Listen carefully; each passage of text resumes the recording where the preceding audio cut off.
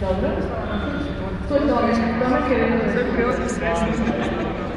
E, Dobro, hvala lijepa. Mogu ja? Vidim da ima... Dosadit ćeš nam do pravog govora.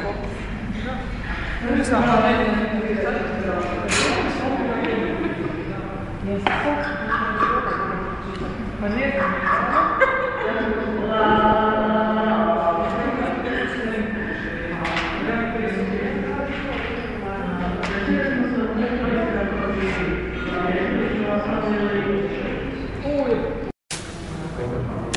Ne znam je li to dobro.